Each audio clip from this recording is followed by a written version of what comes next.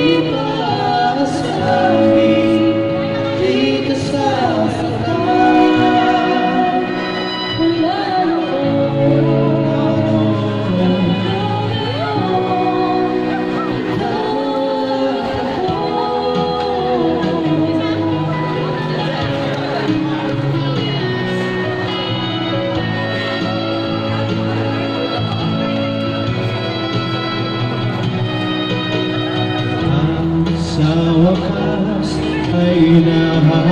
Ko na rin ang aking tanging hinihiling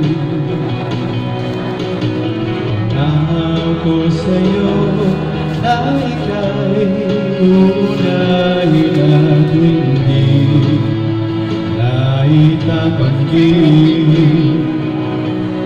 ang tadhanang nahanap ko sa iyong pagmamahal ang dudulot sa pag-ibig natin na magtatagal.